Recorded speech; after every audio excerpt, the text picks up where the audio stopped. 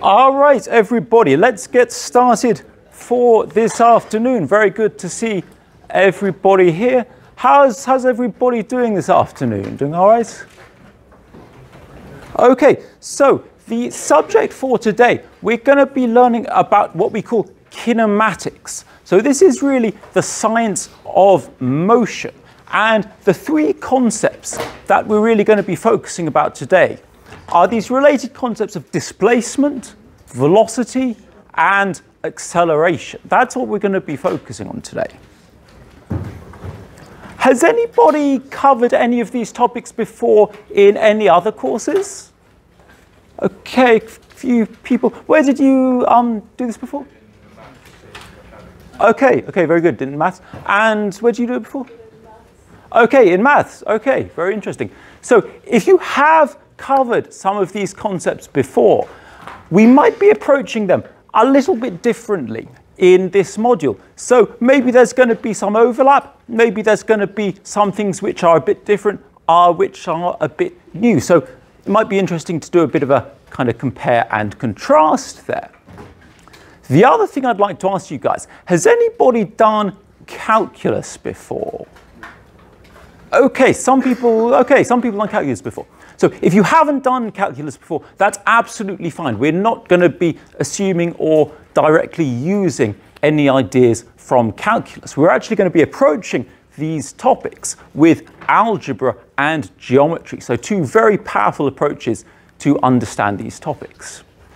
If you have done a bit of calculus before, you might be able to see the connections between some of the ideas that we're covering today and some of the things that you've covered in calculus. So if you have done some calculus and you can see those connections, then that's fantastic. If you haven't done calculus before, please don't worry about it.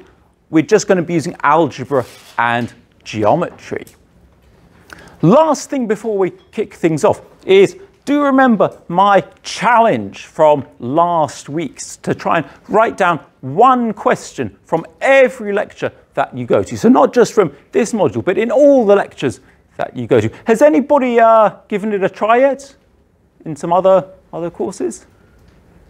Okay, so do try and give it a go today. Now, maybe there's going to be something in the lecture which isn't too clear. Maybe I don't explain it so well. That's going to be an obvious thing to ask a question about. But it doesn't just have to be a question about that. Maybe you're covering similar topics in, you know, maths or engineering. Maybe we do things a bit differently in this module. That's a great thing to ask a question about. Or even if there's just any ideas here which you think, oh, hey, that's kind of interesting. I wonder if there's a different direction we can take that. That's a great thing to ask about. So there's plenty of things, plenty of directions that you can ask questions about, not just um, if there's something you don't understand. I do take a moment to ask if you guys have questions during the lecture, but please do just put your hand up and ask if you do have any questions as we're going along. You don't need to wait um, until I ask.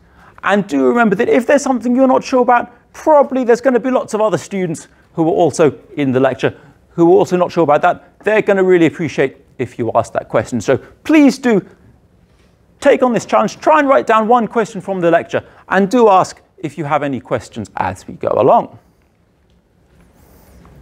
Let's take a look at what the plan is for today. So the two main topics that we're going to be thinking about today are really what we call kinematics diagrams and kinematics equations. So we're going to have equations to describe the motion of the kinds of objects that we're considering. And we can also represent this motion in terms of diagrams. Now you'll probably notice that I'm always, always, that I'm almost always saying, draw a diagram, draw a sketch of the situation. It's very helpful with understanding what's going on. And I think no more so than when we're thinking about kinematics. And the thing I'd really like to emphasize all week is making the connections between these two different approaches to motion. So I don't want to be thinking of diagrams and equations as two different things. I want to be seeing them as two different ways to represent the same thing and really emphasizing the connections between the two because that's such a powerful way to really unlock an understanding of kinematics. The concepts that we're going to be looking at specifically for today, we're going to be looking at the relationship between displacement and velocity.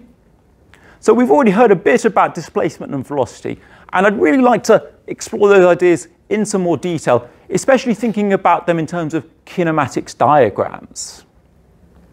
The next concept that we're going to think about for today is the relationship between velocity and acceleration. Now, we've all heard of acceleration. Everybody knows you know, where the accelerator pedal is. Everybody knows what it does. But in physics, in kinematics, acceleration can actually be quite counterintuitive. So we're going to understand some of those concepts in a bit more detail. And then the key thing that we're going to be working towards is the relationship between displacement and acceleration. Now, the relationship between the first two concepts is a bit more straightforward, but when it comes to the relationship between displacement and acceleration, it gets a bit more interesting. So that's really what I'd like to be focusing towards. Now, you might be wondering, well, maybe I'm not super interested in motion and rockets and cannons and all this kind of stuff that we think about with kinematics. Why is this such an important topic for everyone? And the reason is that understanding kinematics is absolutely essential for understanding energy. We simply can't understand energy as we talk about it in science without really understanding what we mean by kinematics. So that's why it's so important that everybody, whichever degree you're studying, certainly for physics and engineers, but if you're studying chemistry or biology, why it's so important to understand these concepts, because we need to understand these concepts for energy. And you need to understand energy to understand everything. So it's so important for everybody, whichever course you're studying. So that's the basic plan for today and sort of where we're going to be going with it.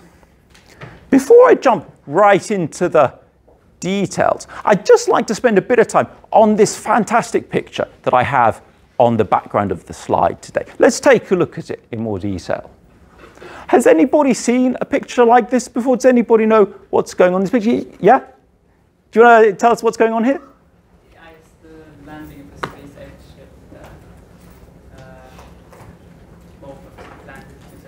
Absolutely fantastic. Did everybody hear that? So it's an absolutely stunning photo of a SpaceX booster landing on a drone ship in the middle of the ocean.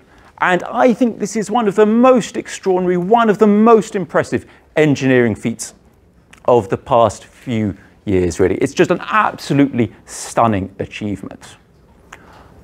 When I first heard that SpaceX were planning to land their rockets on ships, no less, in the middle of the ocean, I thought they were totally crazy. And I think a lot of other people did as well. Now, if you want to do something like land a rocket booster on a ship in the middle of the ocean, you absolutely definitely have to understand all of the kinematics concepts that we're going to be learning about this week. It's absolutely uh, essential. There's actually a more important point that I'd like to make about how this is done specifically and how we're going to be approaching physics in the rest of the module. And I'd really like to demonstrate that by showing you guys one of my favorite YouTube videos. Maybe some of you might have seen it before. It's actually been described as the most expensive YouTube video ever made. So I hope you guys all appreciate it. And like I said, if you've seen it before, I've seen it loads of times. I think it gets better every time. So just give me a moment. I'll dial up the, the, uh, the movie and we'll take a watch, okay?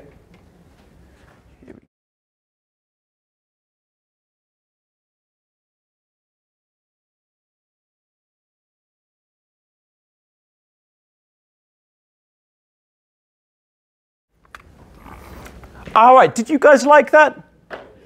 I, I think it's a great video. Has anybody seen it before? But it just, it just gets better every time, right? I've watched it, let's say, more than once. Um, so like I said, it is probably the most expensive YouTube video ever made. So I hope you guys did enjoy it.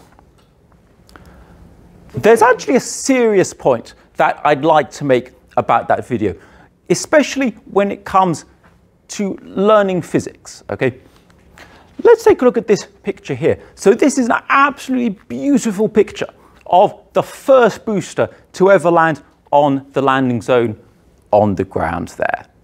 So not just a really beautiful picture. Don't you guys think that's just a really beautiful picture? It's, sorry? Very aesthetic. Very well? Aesthetic. Yeah, it really is, isn't it? It really is very aesthetic. Absolutely beautiful picture with the, the sunset there. But it's a super important picture because it really changed the status quo of putting things into orbit. And that really is changing the world with reducing the cost of putting things into orbit. But there's a very important lesson for how they got there. And it's a very important lesson to bear in mind when we're learning physics. And in a nutshell, this is all about learning from mistakes. And it's so important not to worry too much about not making mistakes, but to keep learning from them. So whenever we're learning anything, mistakes are essential. If we take a look at everything that happened in the video, I got, I got a list written down of everything that went wrong there. Let's take a look. Okay, so first time, there was an engine sensor failure. Then they uh, ran out of liquid oxygen. Uh, there was a stuck throttle valve. Ran out of hydraulic fluid. Uh, landing leg collapsed. Uh, landing burn failed. Radar glitch. Uh, then they ran out of propellant. So loads and loads of things went wrong every time. What's really interesting though is that they didn't make the same mistake twice. Every time something went wrong, they figured out what went wrong and they fixed it and they didn't make that mistake again. And things didn't work the first time. Things didn't work the second time, or the third, or the fourth, or the fifth, or the sixth, or the seventh, or even the eighth time. They kept on making mistake after mistake after mistake, but they never made the same, mistake twice. And they always figured out what was wrong and they always fixed it and they always learned from it. And that's how you make progress. That's how you do something extraordinary like landing a rocket booster. And it's so important to bear this in mind when we're learning physics because I think it's very easy when it comes to learning things in exams and it's got to be A stars all the time and everything's super assessed. It's very easy to be very worried about making mistakes. But the thing is, if you don't want to make any mistakes, then you don't end up making anything. So the thing I want to emphasize is that small mistakes, they're really not a disaster. So if you look in the textbook over here, there's loads of small mistakes in the textbook, loads of little typos. If you look at the answers, there's loads of little things wrong with the numbers there. As I start pushing some more equations, doing some more working out on the blackboard as we get into the semester, I'm sure I'm going to make some mistakes. I'm sure I'm going to get some things back to front.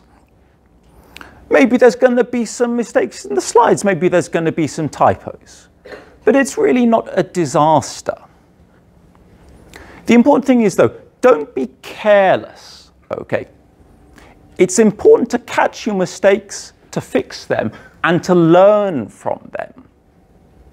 So if you remember last week, I told you guys about this approach to units. We don't think about units as just the cherry on the cake. We can see from our units if we've made any mistakes. That's a very powerful way to check your work, to see if you've made a mistake, and if you have, to catch it and try and fix it. So that's just one uh, very important approach there. The key point, the key thing that I'd like you guys to take away from this is don't let small mistakes get in the way of building your understanding. If we're going through something in a workshop and maybe you get a fraction the wrong, wrong way around, or you get an exponent the wrong way around, or you miss a minus sign or something like that, it's just a small mistake. It's not a disaster. So don't let that get in the way of building your understanding. The important thing is to build a really strong, solid understanding of the subject.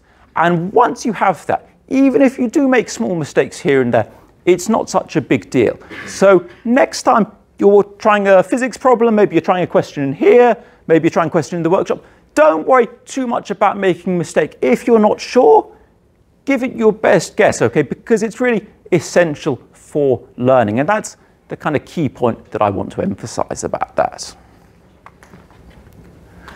does anybody have any questions that they want to ask before we uh, move on?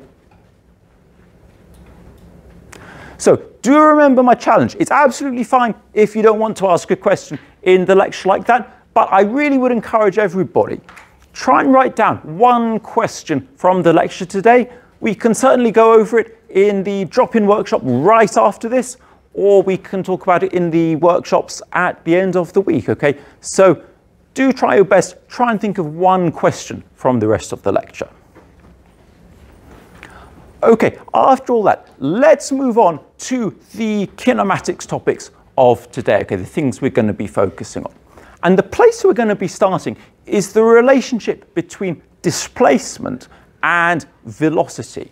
And a really important way to understand these concepts is by thinking about them in terms of a diagram. So let's take a look at that. Let's get started with some kinematics. So what I've got here is a graph. And on the horizontal axis, over here, so we've got time on the horizontal axis. And on the vertical axis, we've got displacement.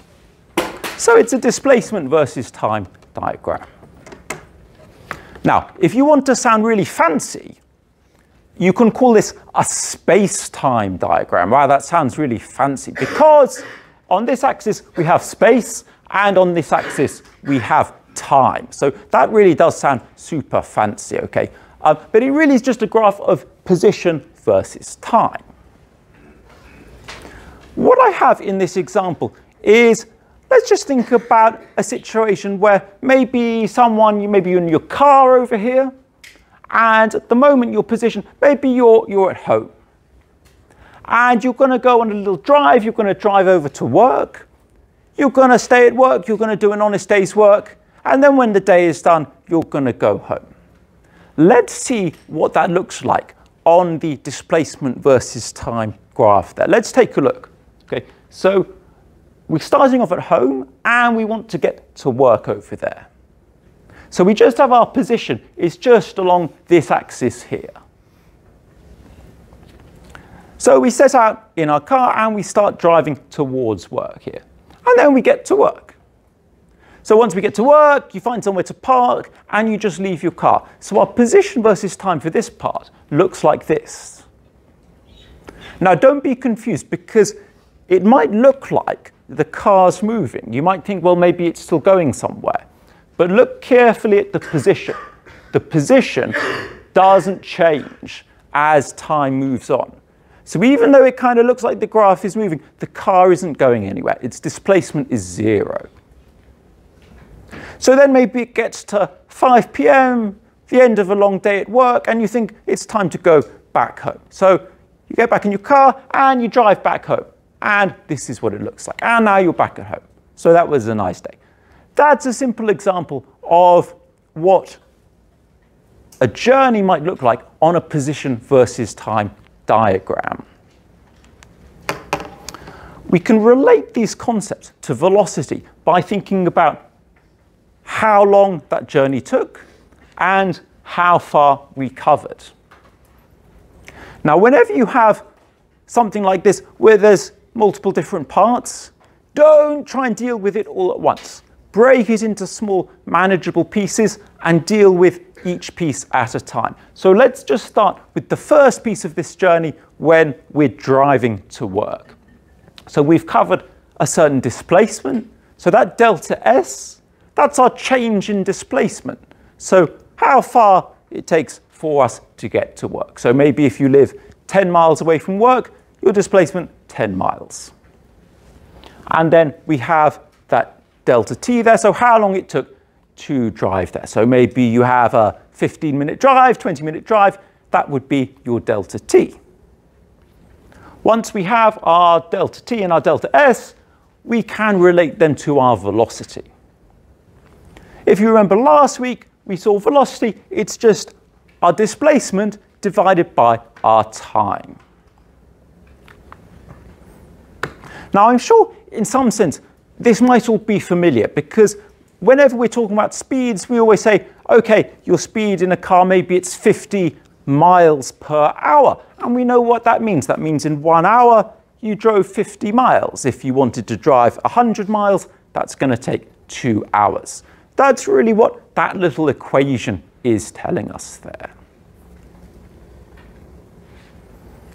Once we have this equation, we can calculate all kinds of nice things, right? So if we know our speed and our time, we can calculate the displacement, or if we know the displacement and time, we can calculate the speed and all that, that sort of thing. The thing I'd really like to emphasize today is to make a connection between what's going on with this equation and what's going on in a graph of velocity versus time. So over here, we have displacement versus time. Let's think about what a similar graph of velocity versus time would look like. So right above this, here we've got velocity versus time. Let's have a think about what our velocity versus time is going to look like for this journey. So let's just think about this first part where we're driving to work. Let's think what that velocity is going to look like. So remember that velocity, it's just the slope of our displacement versus time graph. So for this first part of the journey, we have some positive slope, some positive velocity. So our velocity versus time just looks like that green line up there. Our velocity is just constant. And all that's telling us is when we're driving to work, we have a constant velocity. So obviously in real life, you know, that's a bit of an idealization you know, that you're going to be stuck in traffic and all that kind of stuff. But in this example, we're just thinking you're driving to work maybe at a nice constant velocity, you know, could be 30 miles an hour, something like that. Have a think about what the next part of the diagram is going to look like for this part of the journey when we're parked at work. Before I show you guys, just take a minute to draw in in your own notes what you think this part of the diagram is going to look like when we're parked at work here. Have a think about what that's going to look like. This is good. I'm seeing people drawing. I'm seeing people drawing. Have a think what that part of the journey is going to look like. Very good. I'm seeing people drawing. I'm seeing people thinking about it. This is excellent. Okay. Okay, has everybody had a go? Everybody got a got a sketch? Okay, so let's take a look at this. So for this part where we're just at work, we do have some time, some time passes. Maybe you spend eight hours at work, maybe you spend nine hours at work, something like that. But our displacement is zero because we're parked at work. So for this part of the diagram, our velocity is zero. So that's what our velocity looks like. Did anybody get that in their, in their notes when they drew that? I'm seeing some thumbs up. All right, all right, fantastic, fantastic. Okay, that's great. That's really good.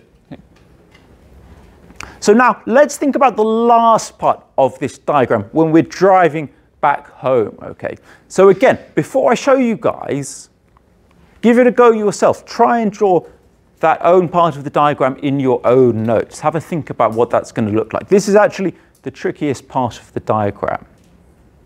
I'll give you guys just a moment to, to give this one a go. So maybe check with the people around you. I know some people, they got the middle part of the diagram. All right, so check with them, see what you think for this last part. What's that last part going to look like? So remember, velocity, it's the slope of the displacement versus time diagram. So think about what the slope of that last part of the diagram is. Let's take a look. Let's see what it is. So for the last part, we're driving back home and our velocity is negative. Who got that? Did anybody get that? All right, all right, fantastic. That's brilliant. Very well done, everyone, okay?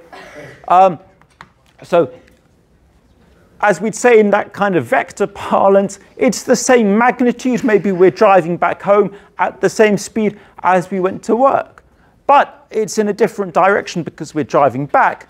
So whereas over here, we say our velocity is positive, when we get over here, our velocity is negative. So very well done everybody who got that right if you were drawing the sketch along in your own notes. Okay, that's a fantastic start to thinking about kinematics. Okay, so very well done. I just have a couple more points to make about this before we move on. Okay, so first of all, if we start with this equation, we can do a little bit of algebra, a little bit of rearranging, and we can solve for what our displacement is in terms of our velocity and time. So just a little bit of algebra there. A point that I want to emphasize here, okay, is this equation here is only true if we have a constant velocity. So every year when it comes to marking exams, there's going to be some question where the velocity isn't constant and we want to calculate what the displacement is and somebody uses this equation.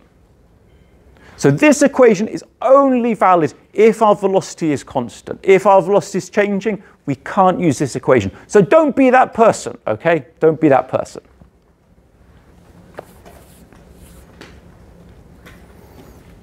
So that's the basic idea with relating velocity and time and displacement.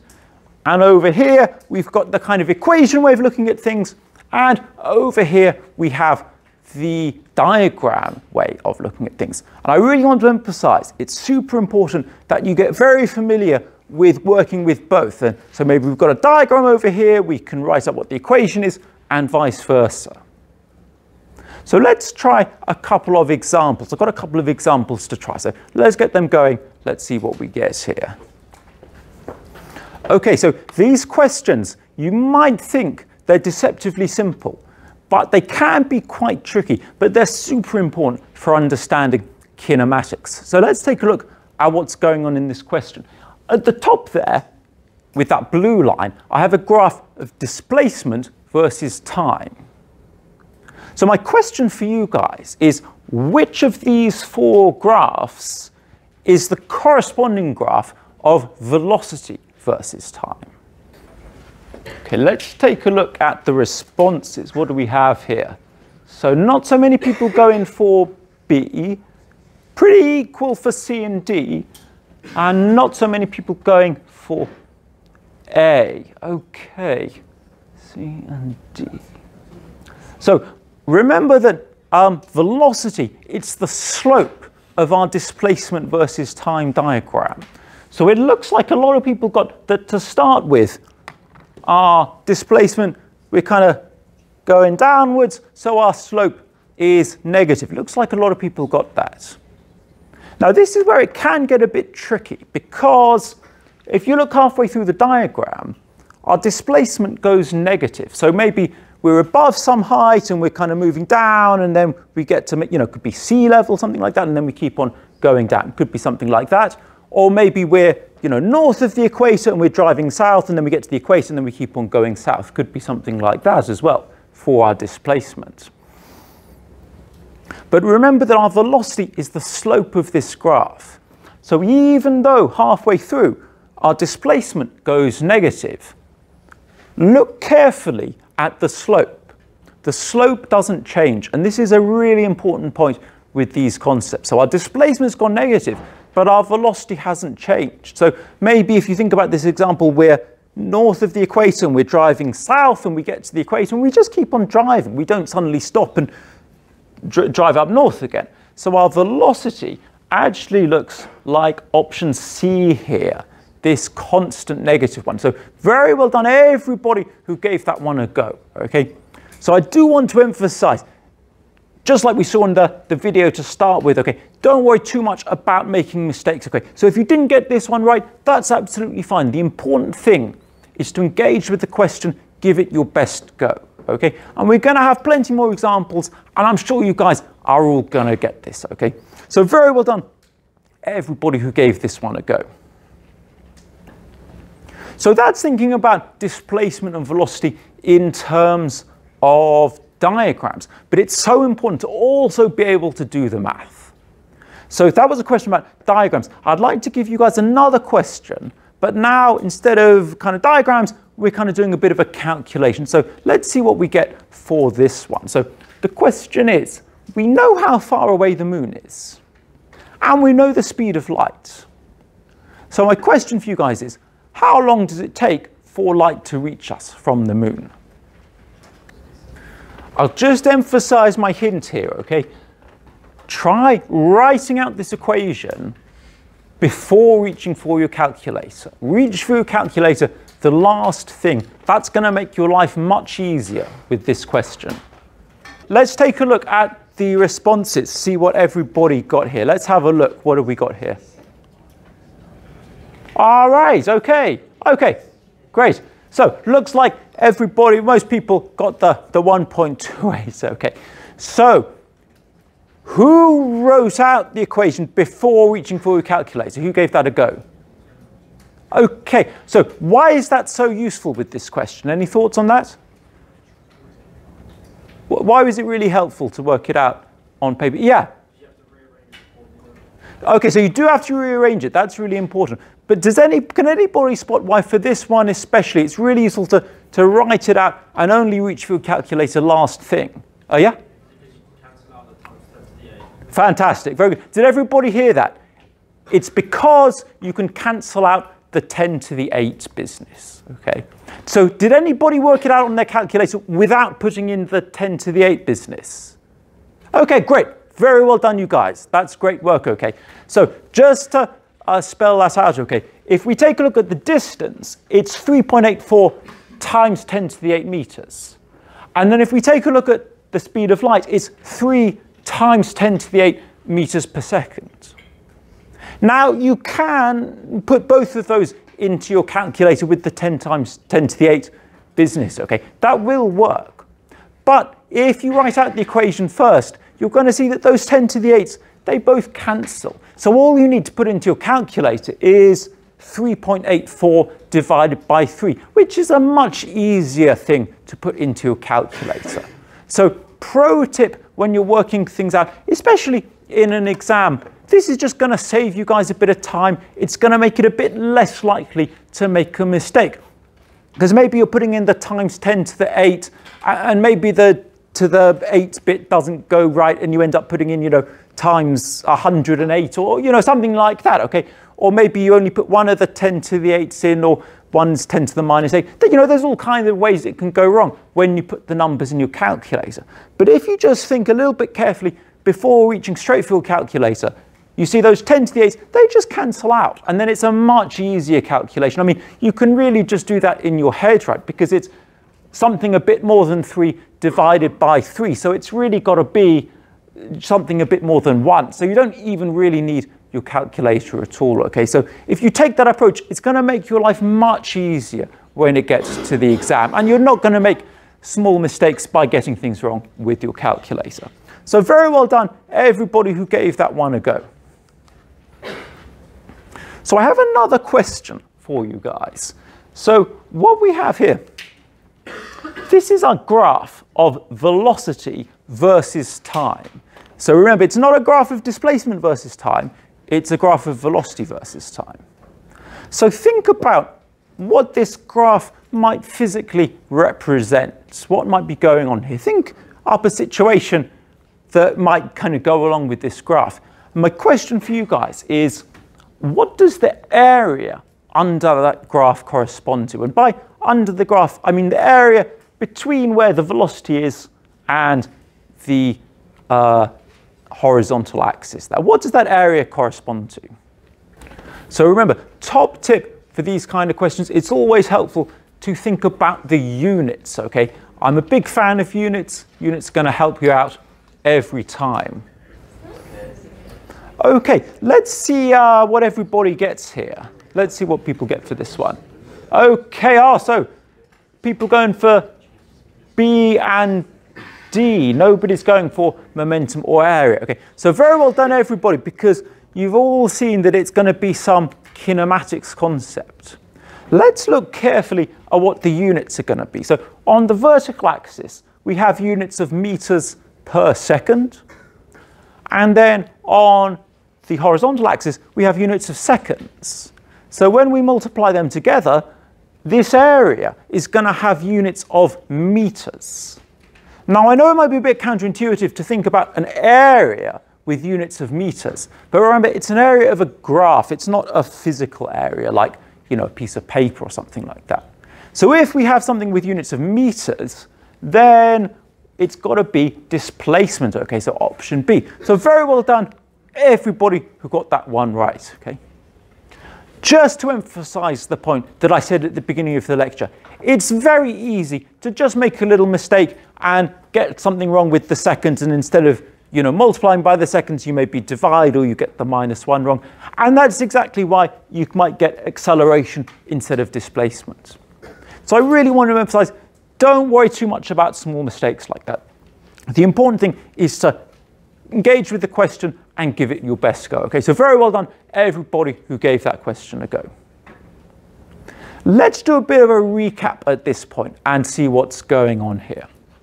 So what we have here let me just move the little uh, code out of the way.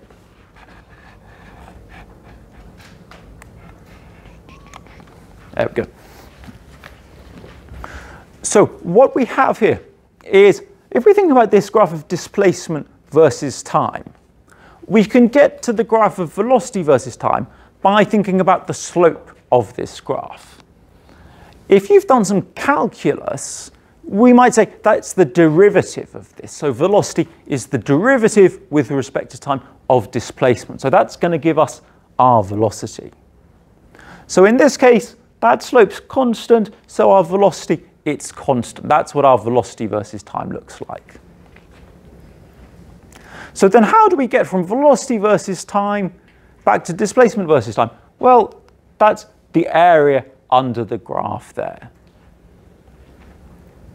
So we can get to that either geometrically by thinking about what the area is, or if you've done some calculus, you might recognize that as the integral of velocity versus time. That's going to give us the displacement. So in one slide, that's really the relationship between those two concepts. Let's move on and think about acceleration, because that's the next crucial piece of the puzzle here. Let's start by thinking about what are the units for acceleration, okay? So let me get this one going. We'll see what the units of acceleration are. So just a hint, start by thinking about the units of velocity. And remember that acceleration is how much velocity changes with time. So think which of these are going to be the units of acceleration. Let's take a look. Let's see what we get here for acceleration. So most people going for A, but we do have some other ones covered, okay? So remember the units for velocity, that's meters per seconds. So we'd write that as meters seconds to the minus one. That's what we mean by that. And then acceleration is how much that changes. So that's going to be meters per second per second. So we write that as meters per second squared or meters second to the minus two. So the correct answer is option A over there. So very well done, everybody who got that one okay. Um, you probably have noticed by now how much I like thinking about units. So the last slide for today, let's take a look at some more kinematics diagrams. But instead of for displacement versus time, let's see what it looks like for acceleration versus time. So in this situation, I thought, let's start with the classic example of something accelerating. So this idea that sparked Newton off on thinking about gravity. So let's think about an apple falling from a tree. So to start with, the apple, it's just sitting there. It's just minding its own business. It doesn't have any velocity. So it's just sitting there. And as time goes by, the apple doesn't move. It doesn't have any velocity. At some point, the apple falls off the tree. And as it's falling towards the ground, it's accelerating towards the ground. Then at some point it's going to hit the ground and its velocity is going to very suddenly go back to zero and then it's going to be on the ground. So it's going to look something like this. And then it's just going to be on the ground again, minding its own business. So that's an example of what a velocity versus time diagram might look like if something's accelerating. So remember the, the relationship between velocity and acceleration is how much we've changed our velocity in a certain amount of time. So we can write that down as an equation like this. So our acceleration, it's our change in velocity divided by how long that change in velocity took.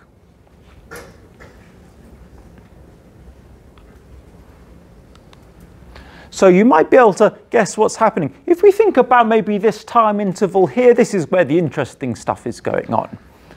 So in this time interval here, the apple changed its velocity by this much. So that's what its delta v is. So let's have a think about what our graph of acceleration versus time is going to be in this situation. So if we have acceleration versus time, it's also very useful to divide this up into pieces over here. So let's start by thinking about this, this piece here, okay? So when the apple is falling, its acceleration is negative. So acceleration, it's the slope of the velocity versus time graph. And our apple's falling, the velocity is getting more and more negative, the slope is negative. So our acceleration is negative. Does anybody know what the acceleration due to gravity is?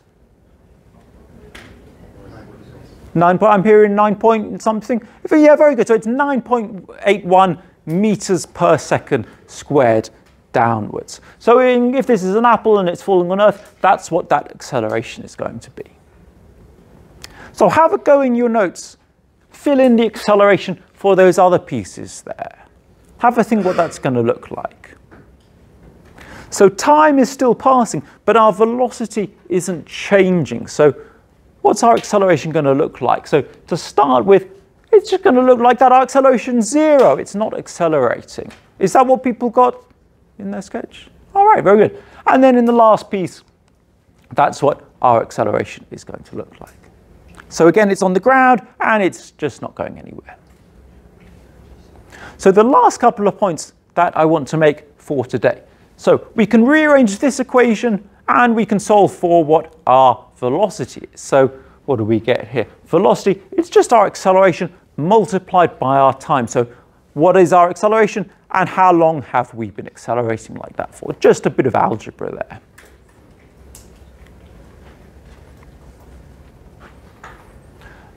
The last point I want to make for today is that when we talk about acceleration in everyday language, we almost always mean getting fast, right? So we've got a pedal in the car, the accelerator pedal, and it makes the car go faster.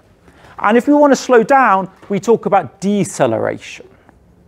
So in physics, we never talk about deceleration because in physics, when we talk about acceleration, we just mean we're changing our velocity, not necessarily increasing it. So even if we're decreasing our velocity, a physicist would still say we're accelerating. So to a physicist, if you have the accelerator pedal and the brake pedal in a car, they're both the accelerator pedal because they both change the velocity of the car. So that's just a little bit of uh, technicality there. So just watch out for that if we're talking about velocities decreasing. So that's a kind of first introduction to displacement, velocity, and acceleration. And in the next lecture, we're going to be looking in more detail about how we can relate acceleration and displacement. And things get a lot more interesting. So um, that's all for today. And thank you all for listening. Very well done, everybody, with the questions. And I'll see you all on Thursday. So I'll see you then.